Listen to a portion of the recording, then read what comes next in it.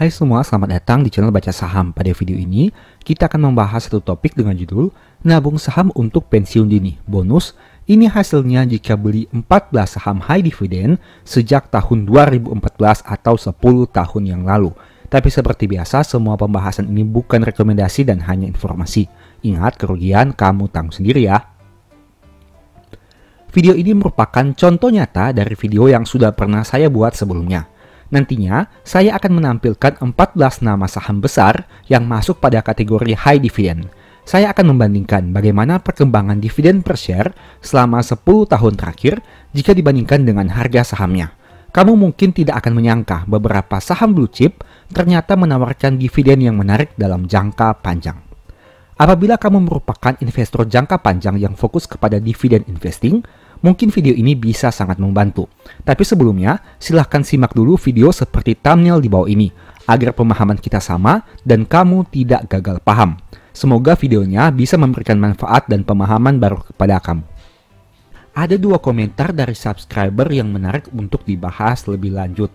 Yang pertama, ada yang bertanya seperti ini. Apakah perhitungannya realistis? Mohon infonya. Takutnya semakin besar perusahaan, growth-nya makin turun karena sudah besar.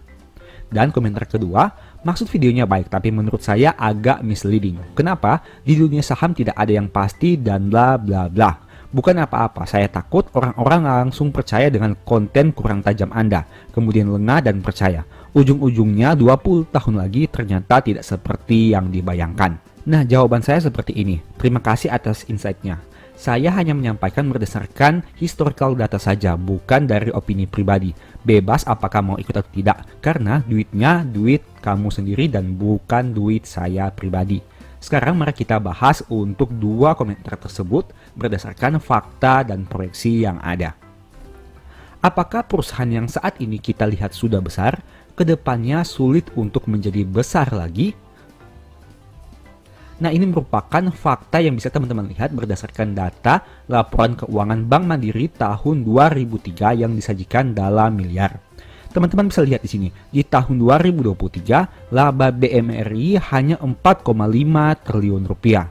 Dan tentu saja teman-teman sudah tahu, berdasarkan data laporan keuangan per tahun 2023, laba Bank Mandiri berada di angka 55,1 triliun rupiah atau tumbuh sekitar 33,7 persen dibanding tahun sebelumnya. Nah, jika teman-teman lihat di sini, dalam jangka panjang, berdasarkan perbandingan pertumbuhan laba dalam 21 tahun terakhir, yaitu sejak tahun 2003 hingga 2023, laba Bank Mandiri naik dari 4,5 triliun menjadi 55,1 triliun rupiah. Jika saat ini kamu lagi di tahun 2003 dan melihat laba Bank Mandiri sebesar 4,5 triliun seperti tampilan berikut ini, tentu kita akan mengatakan rasanya tidak mungkin laba perusahaan ini bisa naik 10 kali lipat dalam jangka panjang. Masa perusahaan laba 4,5 triliun diproyeksikan labanya naik menjadi 45 triliun? Yang benar saja. Tapi pada kenyataannya seperti apa? Hal ngawur yang orang lihat di tahun 2003 menjadi nyata di tahun 2023. Bahkan kenaikan BMRI lebih dari 10 kali lipat dengan laba 55 triliun rupiah. Mungkin saja orang ngawur yang membeli saham BMRI di tahun 2003 baru akan percaya di tahun 2023 saat banyak orang logis yang melihat fakta yang ada. Tentu kamu sudah melihat fakta yang saya tampilkan ini, di mana laba Bank Mandiri naik dari 4,5 triliun menjadi 55,1 triliun rupiah.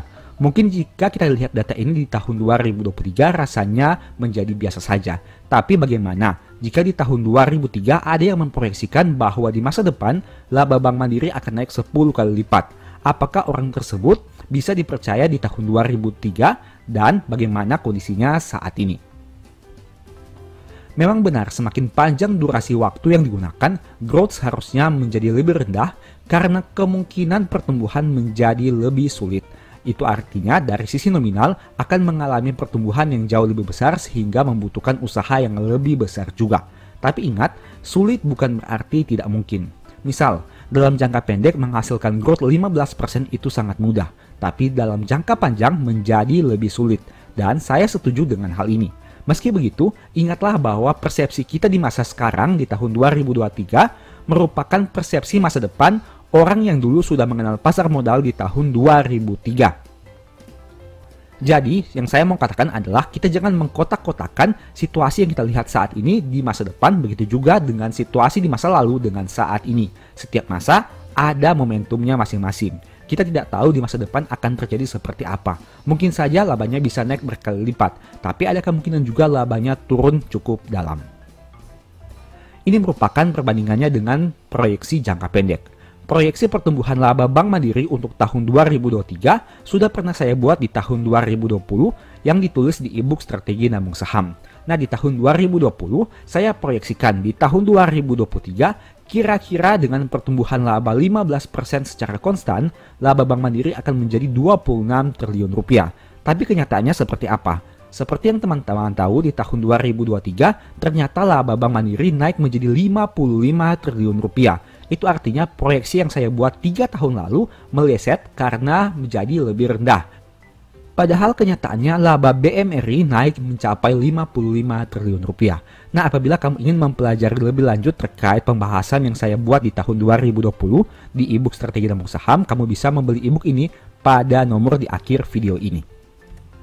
Dalam jangka pendek sekitar 3 tahun dari tahun 2020 ke tahun 2023, kamu bisa lihat bahwa proyeksi yang saya buat untuk growth laba BMRI sebesar 15% itu meleset karena ternyata growth labanya lebih besar dari 15%. Saya proyeksikan laba BMRI 26 triliun di tahun 2023, tapi nyatanya tumbuh menjadi 55 triliun alias naik dua kali lipat. Tapi pertanyaannya, jika saya proyeksikan laba BMRI dengan kenaikan 15% setiap tahun untuk tahun 2020 ke tahun 2034, apakah masih realistis ataukah itu merupakan hal yang ngawur? Nah, kita bisa lihat di sini. Ini juga masih merupakan pembahasan yang saya buat di ebook strategi nabung saham yang ditulis di tahun 2020 hingga tahun 2021. Dengan menggunakan proyeksi growth 15%, berarti diasumsikan pada tahun 2034 dengan asumsi growth yang konstan, BMRI akan mencetak laba di atas 100 triliun rupiah. Pertanyaannya, apakah hal ini mungkin? Nah, seperti tadi kita sudah bahas, di tahun 2003 laba mandiri hanya 4 triliun rupiah saja. Untuk memproyeksikan laba tersebut naik 10 kali lipat dalam waktu 21 tahun ke depan, rasanya itu merupakan hal yang mustahil. Sama seperti kondisi pada hari ini di tahun 2023. Apakah dengan laba 55 triliun kita bisa percaya bahwa dalam beberapa waktu ke depan laba mandiri ini akan naik satu kali lipat sehingga menjadi 100 triliun rupiah. Apakah hal itu mungkin? Tidak ada yang tahu. Bisa saja iya, bisa juga tidak. Sekarang mari kita simak perbandingan simulasi growth konstan dan realita yang terjadi untuk laba BMRI dalam 21 tahun terakhir. Nah ini merupakan proyeksi yang kita buat. Misalnya kita berada di tahun 2003 dengan laba 4,5 triliun. Jika kita menggunakan growth konstan sebesar 15% setiap tahunnya, maka di tahun 2023 proyeksi laba BMRI akan menjadi 74,9 triliun rupiah. Bagaimana realitanya? Dengan laba realita di tahun 2023 sekitar 50-an triliun, itu artinya sebenarnya growth laba BMRI hanya sebesar 13,2% apabila kita tarik mundur sejak tahun 2003 sampai tahun 2023. Nah itu artinya terdapat selisih dengan nominal yang tidak terlalu besar. Dalam jangka panjang, 21 tahun misalnya, growth mandiri memang tidak 15%, tapi hanya sekitar 13,2% saja. Meskipun begitu, selisih growth proyeksi dan realita sebenarnya tidak berbeda terlalu jauh. Tapi kembali lagi, kamu ada di posisi mana saat melihat ini? Apakah di masa sekarang atau di masa lalu? Jika kamu melihat di masa lalu, mungkin akan terasa sangat mustahil untuk mengalami peningkatan laba yang sangat signifikan. Tapi apabila kamu melihat hal ini di masa sekarang, mungkin kamu melihat untuk proyeksi dalam waktu 21 tahun yang lalu rasanya menjadi masuk akal. Itu merupakan perbedaan persepsi dari sudut pandang kamu melihat hal ini. Kesimpulannya, yang pertama, dividen yang dibagi berasal dari laba. Jadi, jika berharap dividen lebih besar atau bisa dividen investing, berarti kamu harus berharap perusahaan hasilkan laba lebih banyak. Kedua, pertumbuhan laba memang tidak konstan setiap tahun. Tapi apabila kita mengambil data berdasarkan historical, proyeksinya menjadi sedikit akurat. Yang ketiga, jika saat ini kita melihat laba perusahaan besar 21 tahun yang lalu, kita akan mengatakan laba tersebut kecil. Tapi mereka yang hidup 21 tahun yang lalu dan mendengar proyeksi laba 21 tahun ke depan akan banyak yang berpikir hal itu tidak masuk akal. Dan yang keempat, tidak ada yang bisa menebak masa depan. Yang bisa kita lakukan hanya proyeksi. Apakah proyeksi itu tepat? Tidak ada yang tahu. Bisa iya, bisa juga tidak. Pasar modal penuh dengan ketidakpastian. Jangan pernah percaya 100% kepada siapa pun termasuk kepada saya. Proyeksi yang saya buat bisa benar, tapi bisa juga salah. Kalau kamu ikuti silakan, kalau tidak juga tidak apa-apa. Karena kamu beli saham dengan uang kamu sendiri. Kalau profit nikmati sendiri, kalau rugi juga kamu tanggung sendiri. Setidaknya dengan video ini kamu punya sedikit referensi untuk cara berpikir dalam jangka panjang. Jangan hanya lihat donat dari lubangnya, tapi lihat donat dari rotinya. Meski begitu, ingatlah bahwa laba perusahaan tidak selalu tumbuh dan bisa saja terjadi penurunan. Jadi, kalau kamu siap untuk pertumbuhan laba, kamu juga harus siap jika laba perusahaan berkurang. Oleh karena itu, selalu kenali resikomu dulu sebelum membeli saham. Di video ini kita hanya fokus bahas soal laba dan dividen serta tidak bahas capital gain. Apabila kamu mau masukkan unsur capital gain, coba bisa buat simulasimu sendiri. Mungkin hasilnya akan lebih luar biasa. Semangat untuk terus belajar. Tidak ada orang yang terlalu pintar dan tidak ada orang yang terlalu bodoh. Jangan menyerah. Selagi berusaha, pasti ada jalan. Sebagai informasi, kalau kamu mau mempelajari berbagai teknik tentang stock for living, baik dalam bentuk dividen maupun capital gain, mungkin ebook ini bisa menjadi referensi. Untuk pembeliannya, silahkan chat pada nomor WA di akhir video. Sekarang mari kita bahas 14 saham yang masuk pada kategori high dividend dan bagaimana perkembangan dividen per share selama 10 tahun terakhir jika dibandingkan dengan harga sahamnya. Saham pertama adalah BBCA. Harga saham pada tahun 2014 adalah 2260 dan saat video ini dibuat di angka 9425. Sekarang kita lihat terjadi kenaikan harga saham sekitar 317% dalam 10 tahun terakhir. Nah, dengan dividen per share terupdate 270 per lembar, artinya jika kita bahagi dividen per share dengan harga saham tahun 2014 akan diperoleh yield sekitar 12%. Menarik kan? Saham BCA bisa menawarkan dividen dengan yield 12%. Saham kedua adalah BBRI. Di tahun 2014 harganya adalah 2083. Tentunya sudah disesuaikan dengan stock split. Dan saat video ini dibuat di angka 4720. Nah, itu artinya terjadi kenaikan harga saham sekitar 127%. Dan dengan dividen per share 319, itu artinya dividen yield untuk harga beli tahun 2014 adalah 15%. Saham ketiga, BMRI dengan harga tahun 2014 adalah 2.581 dan harga saat ini adalah 6.050. Itu artinya terjadi kenaikan harga saham sekitar 134%. Dan dengan dividen per share 353, itu artinya dividen yield sekitar 14% jika dibandingkan dengan harga tahun 2014. Saham keempat, BBNI dengan harga 2.442 di tahun 2014 dan harga saat ini adalah 4.760. Artinya terjadi kenaikan harga saham 95%. Dan dengan dividen per share 280, itu artinya dividen yield sekitar 11% jika menggunakan harga tahun 2014. Kelima BNGA dengan harga tahun 2014 adalah 1025 dan harga saat ini 1840.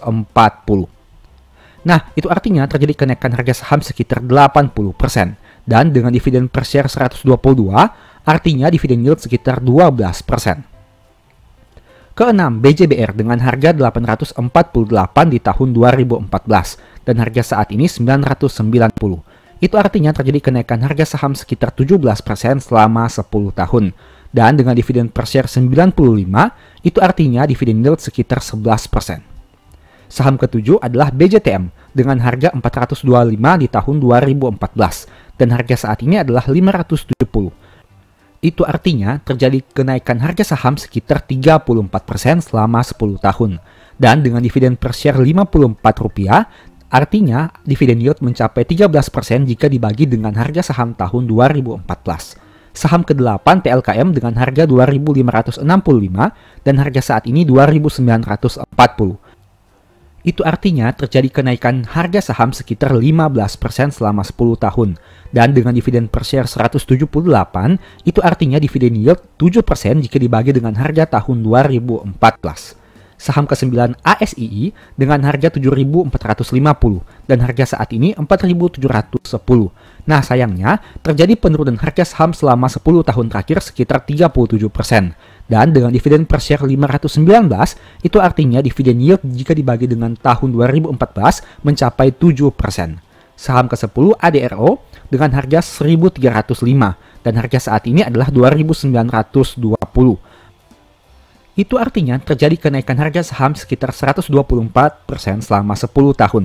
Dan dengan dividen terupdate 359, itu artinya dividen yield 28% jika dibagi dengan harga tahun 2014. Saham ke-11 ITMG dengan harga tahun 2014 adalah 29.450 dan harga saat ini 24.325. Sayangnya, terjadi penurunan harga saham sekitar 17%. Dan jika dibagi dengan dividen terupdate sebanyak 4.407 dengan harga tahun 2014 akan diperoleh yield sekitar 15%. Saham berikutnya PTBA dengan harga 2.290 dan harga saat ini 2.590. Itu artinya terjadi kenaikan harga saham sekitar 13%. Dan dengan dividen terupdate 397, berarti potensi dividen yield mencapai 17% jika dibagi dengan harga tahun 2014. Saham berikutnya UNTR dengan harga 21.625 dan harga saat ini sekitar 22.600. Artinya terjadi kenaikan harga saham sekitar 15%. Dan dengan dividen terupdate 2.270, artinya potensi dividen yield mencapai 10% dibanding harga tahun 2014. Kemudian BSSR dengan harga 1.500 di tahun 2014 dan harga saat ini 3.850. Artinya terjadi kenaikan harga saham sekitar 157% selama 10 tahun. Dan dengan dividen terupdate 468, artinya potensi dividen yield mencapai 31%. Sekarang mari kita lihat rekapannya. Ini merupakan rekapannya. Nah, pertama kita lihat dari aspek capital gain atau capital loss. Dari 14 saham yang saya bahas ini, ada dua saham yang harganya mengalami penurunan selama 10 tahun terakhir. Yang pertama adalah ASII yang turun 37% dan yang kedua adalah ITMG yang turun 17%. Artinya, 12 saham mengalami kenaikan harga saham dan hanya dua saham yang mengalami penurunan harga saham. Menariknya, BSSR, ADRO, BMRI, BBRI, dan BBCA mencetak kenaikan harga saham di atas 100% selama 10 tahun terakhir. Dan BBCA menjadi saham dengan kenaikan harga yang paling tinggi mencapai 317%. Kemudian kita bahas dari aspek dividen yield. Dari 14 saham yang kita bahas ini, hanya dua saham yang dividen yieldnya di bawah 10% jika dibagi dengan harga tahun 2014 alias 10 tahun yang lalu yaitu TLKM dan ASI yang hanya 7% saja. Selebihnya, 12 saham lainnya jika kita membagi dividen terupdate saat video ini dibuat dengan harga tahun 2014 memiliki potensi dividen yield di atas 10%. Dengan kata lain, saham-saham blue chip juga ternyata bisa memberikan dividen yield yang mana bisa dikatakan sangat besar karena di atas 10% tapi membutuhkan waktu yang panjang. Sebagai informasi, ADRO dividen tahun 2024-nya adalah 0,01 USD dan dikalikan dengan kurs 16.000, kemudian ditambah dengan dividen interim yang telah dibagi sebelumnya. Untuk saham Hexa dan MPMX tidak dimasukkan karena belum ada info tentang dividen tahun 2024. Nah, ada yang menarik juga di sini. Jika teman-teman menjumlahkan 14 saham ini dengan asumsi pembelian satu lot masing-masing saham, maka total dari harga sahamnya adalah 77.849 dan jika dibandingkan dengan harga tahun 2024 itu artinya terjadi kenaikan harga saham secara total sekitar 19% apabila teman-teman membeli seluruh 14 saham ini. Bagaimana dengan dividennya? Total dividen per share mencapai 10.096 dan jika dividen per share ini dibagi dengan harga saham tahun 2014 akan diperoleh rata-rata dividen yield sekitar 13% angka yang bisa dikatakan masih menarik meskipun tidak sesignifikan apabila teman-teman hanya fokus kepada saham-saham tertentu seperti BCA, BRI, Mandiri, dan lain sebagainya. Ingat, ini bukan rekomendasi. Semua saham yang disebutkan ini hanya sebagai contoh dan ilustrasi saja. Kamu yang harus menentukan sendiri saham ini baik atau tidak. Disclaimer on. Kesimpulan, pertama, perusahaan yang kinerjanya terus tumbuh berpotensi memberikan dividen yang berkali lipat lebih banyak dibandingkan 10 hingga 20 tahun yang lalu. Artinya, apabila saat ini di tahun 2024, kamu bisa mencari saham perusahaan yang diperkirakan nanti di tahun 2034, 2044, dan seterusnya masih terus eksis dan memiliki laba yang tumbuh signifikan. Kedua, Ingat, laba yang tumbuh signifikan sangat berpengaruh kepada dividen yang nantinya akan dibagi kepada pemegang saham, apalagi jika perusahaan itu punya payout ratio yang konsisten dari tahun ke tahun. Ketiga, bagi dividen investor, dividen adalah utama dan capital gain hanya bonus, tapi tidak menutup kemungkinan harga saham perusahaan yang kamu beli itu terus naik, sehingga keuntungan jadi double, yaitu dividen dan capital gain. Masalahnya, apa nama sahamnya? Itulah yang menjadi PR kamu dan harus dilakukan analisa mendalam.